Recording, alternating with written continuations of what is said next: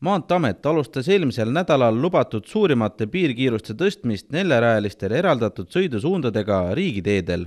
tänavu saab kiirusega sada kümme kilomeetrit tunnis sõita sada kolmekümne kolmel kilomeetril ja viie kilomeetri pikkuses tõstetakse kiirust sajale kilomeetrile tunnis. Ka tänavu tõstetakse lubatud suurimat piirkiirust ainult neljarajalistel eraldatud sõidusuundadega maanteedel, kaherajalistel teedel jääb lubatud suurimaks sõidukiiruseks üheksakümmend kilomeetrit tunnis maanteeameti liiklusohutuse osakonna juhataja Eerik Ernits rõhutab, et kaks pluss kaks lõikudel kiiremini sõitmine on võimalus, mitte kohustus. kui juht näeb, et liiklusolud ei võimalda sada kümme kilomeetrit tunnis sõita, siis peab kiirust vähendama. seda enam, et alles on aprilli algus ning öösiti ja hommikuti võib teedel libedust esineda veel mõnda aega, selgitas Ernits tänavu tõstetakse piirkiirust Tallinna-Narva maantee Tallinna-Aaspere neljal lõigul, Haljala liiklussõlmes ja Kohtla-Järve-Jõhvi lõigul. Tallinn-Tartu-Võru-Luhamaa teel tõstetakse piirkiirust Tallinna-Kose, Mäo möödasõidu ja Tartu-Ülenurme lõikudel.